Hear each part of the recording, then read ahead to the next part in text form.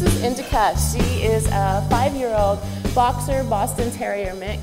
Super, super smart. She knows how to sit, lay down, play dead, roll over. She gets along great with kids.